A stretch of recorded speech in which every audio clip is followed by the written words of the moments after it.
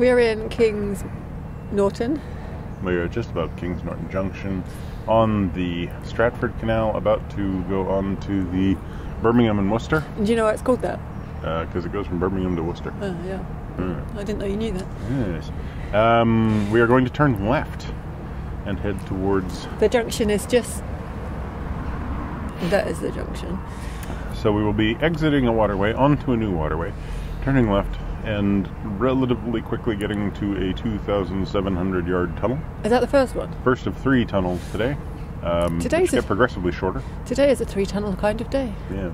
Although we might actually stop between the second tunnel and the third tunnel, Might we? or just before the second tunnel. Yeah. Oh. You know, because because it, basically there's a very large tunnel, then there's quite a bit of travel, like several miles of travel, and then there's two tunnels that are fairly close together, and the space between them is like about a half mile to a mile, and there might be some mooring in there. And then immediately after, well, not immediately, but within a few hundred yards of the last tunnel is the Tardebigge flight, which we do not want to get on today. We don't want to like accidentally start the flight and have nowhere to moor. So, ah, we've accidentally begun the descent into hell. and there's the top lock, and then there's a bit of a gap before the second lock. So we might do one lock and moor there. Yeah.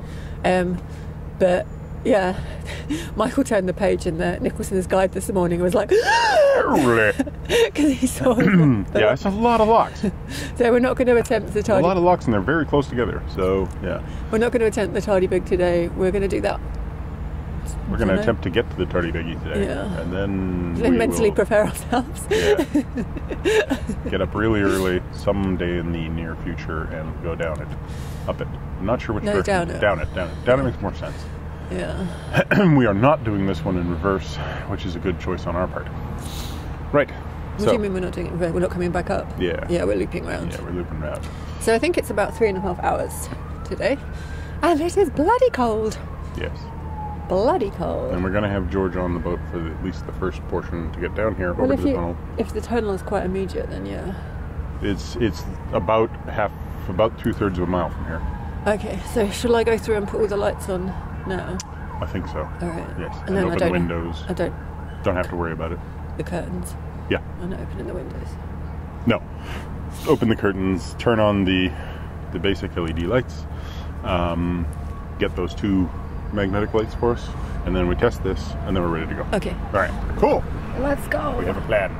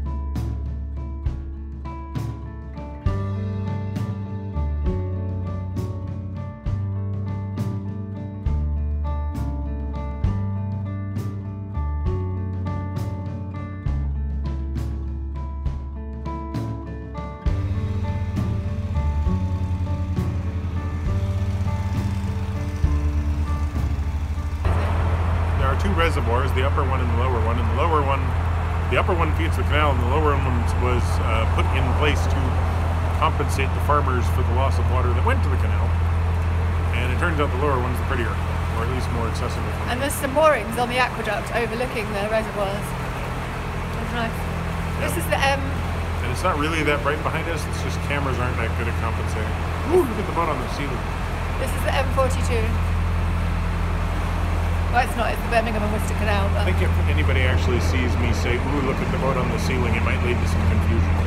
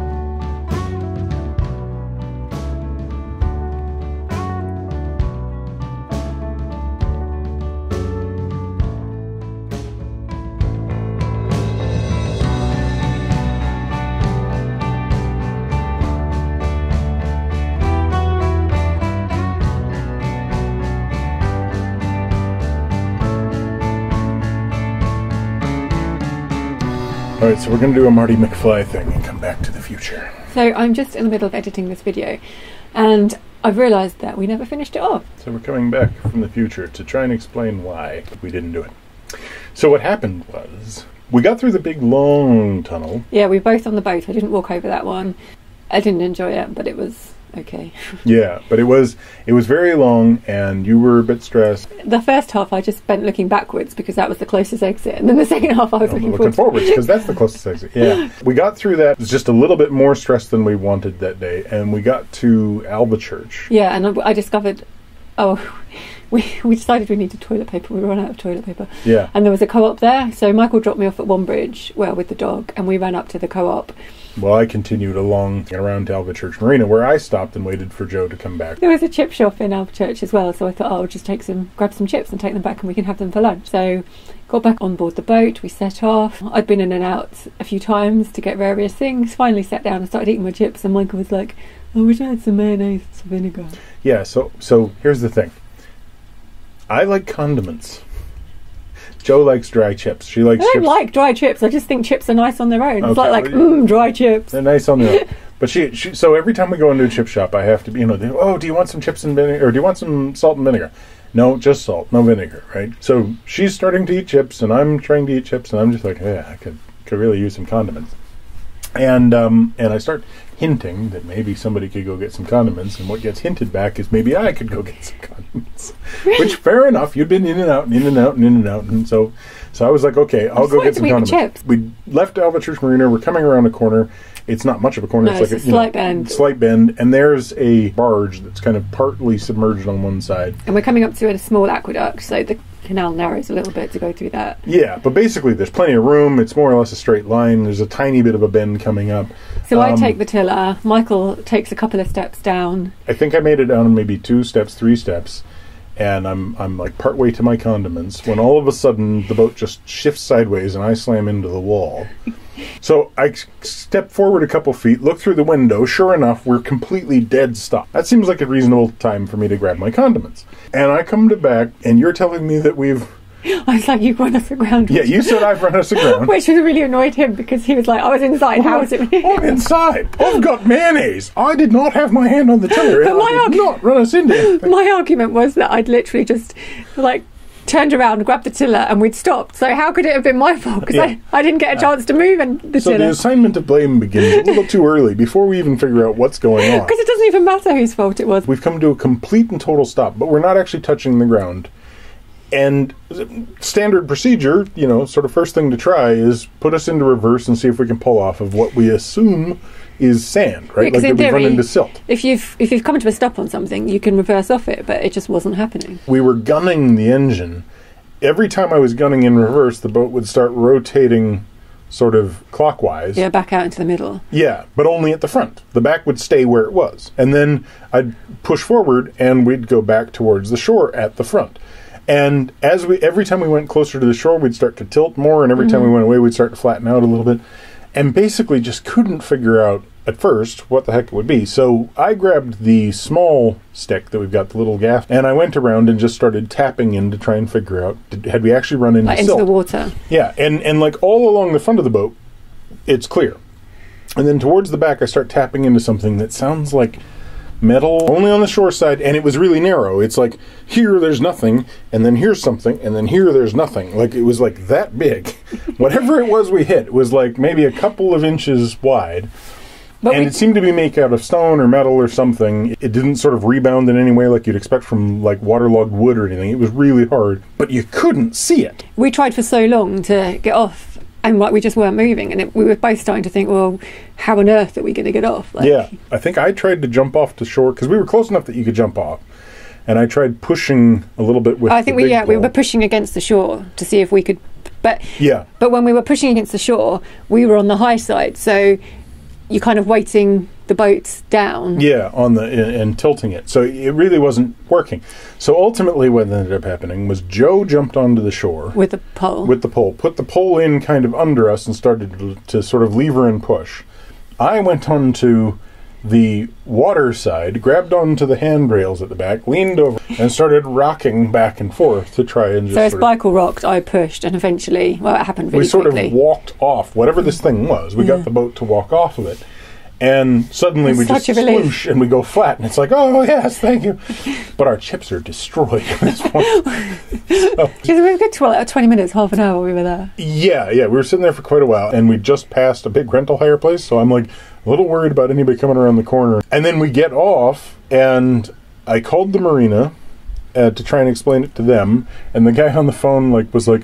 Oh, thanks, but nobody ever goes south from here. And he gets into this whole like nice enough guy, but he gets into like quite a long conversation of trying to explain to me that like people only go north Which isn't true because because like we, We passed one of their boats coming north just later. the reason he said that people don't go south is because like hire boats wouldn't do the Tardebigge, but I don't think that's true. And I called the CRT, and they said they'd get somebody out to check it and everything. But then we passed a couple of boats coming towards us, so we and then had to try and to communicate to them like, stay near the sunken boat, basically. Right, but what always happens when you're on, you know, you're, you're sort of going across each other. You, you only have a limited amount of time to have a conversation So- over the engine noise. So you yell at them, and they've all got this look on, like, yeah, yeah, okay. And then they get about halfway along, and they're like, "What did she say?" And I'm like, "Oh, okay." So, so I end up repeating everything, and then we get to the last two tunnels. The first one was nice and short.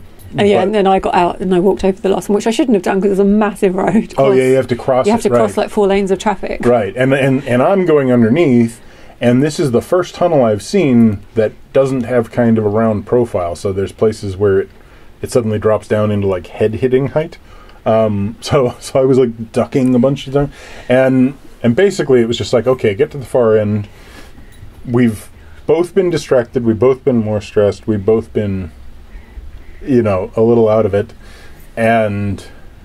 We forgot to do the, the final video, basically. Yeah. So we and yeah, so we moored for the night at the top of the Tardebigge Flight, um, to recover and prepare. Try, try to prepare for the, what would happen the next time we, we got off and moving again. It was. A, it still was a nice day, but it was just not as planned, really.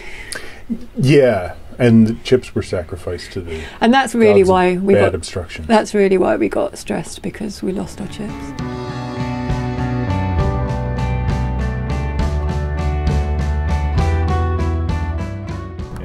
Rain According in in Spain Spain, falls mainly on the plain. the plane.